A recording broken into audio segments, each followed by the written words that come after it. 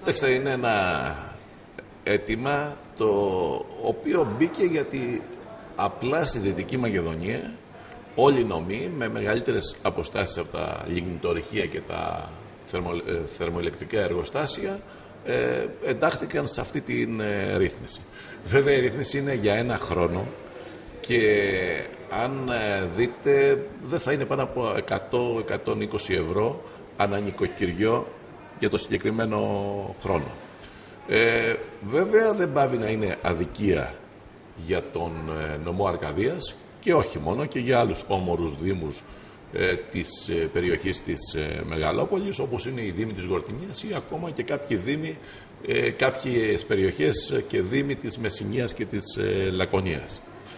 Ε, η δική μας άποψη βέβαια είναι ότι όσον αφορά το Δήμο Τρίπολης ότι μπορούσαν να έχουν γίνει και άλλες ενέργειες προκειμένου να μειωθεί το κόστος ενέργειας και αυτό να μετα... το όφελος να μετακυλιστεί στον πολίτη. Χαρακτηριστικό παράδειγμα το πρόγραμμα ε, Τζέσικα της αντικατάστασης των ε, λαμπτήρων δημοτικού φωτισμού με χαμηλής ενέργειας το οποίο από όσο ε, γνωρίζω και γνωρίζετε στην Καλαμάτα ήδη υπογράφηκε σύμβαση για μια ε, διαδικασία και μια δράση στη τάξη των 5 εκατομμυρίων.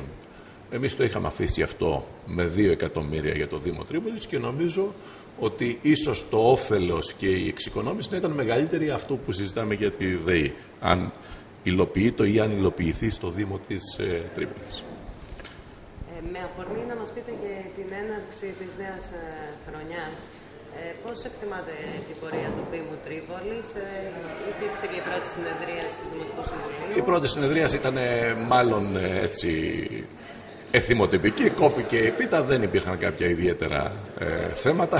Εξάλλου, ακόμα και στο τεχνικό πρόγραμμα, ο κ. Παυλής δεν είναι το παρόν. Ε, αυτό που θέλω να πω είναι ότι κάποια στιγμή πρέπει να σταματήσουμε τα λόγια και να ξεκινήσουν να γίνονται κάποια έργα, έστω στοιχειώδη, γιατί ο Δήμος Τρίπολης έχει μείνει πάρα πολύ πίσω. Ε, και με την ευκαιρία αυτή ε, θέλω να σας καλέσω και εσάς ε, και όποιο πολίτη μπορεί την ε, Τετάρτη στις ε, 7 η ώρα, την επόμενη Τετάρτη 31 Ιανουαρίου η δημοτική μας παράταξη θα κάνει μια εκδήλωση για κοπή της πρωτοχρονιάτικης ε, πίτας και με την ευκαιρία αυτή θα κάνουμε και έναν απολογισμό του έχει- τι έχει γίνει μέχρι σήμερα στο Δήμο Τρεμόνης. Ε, όσον αφορά κάποια θέματα που είναι σε εξέλιξη, όπως η φιλοξενία προσφύγων ή ε, κάποια άλλα θέματα. Κοιτάξτε, όλα αυτά τα θέματα, ενώ έπρεπε να συζητούνται στο Δημοτικό Συμβούλιο και δημόσια θα έλεγα, πολλά από αυτά επιχειρείται να υπάρχει μια ε, συζήτηση στο παρασκήνιο θα έλεγα.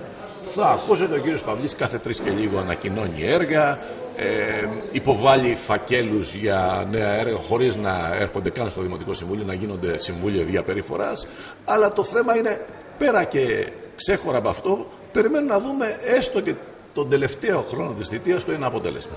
Το οποίο δυστυχώς μπορώ να σας πω ότι μάλλον ε, είμαστε επιφυλακτικοί γιατί τα προηγούμενα 3,5-4 χρόνια της θητείας δεν έδειξαν, δεν έχει δείξει ε, κάποια έτσι, ένα δείγμα γραφής.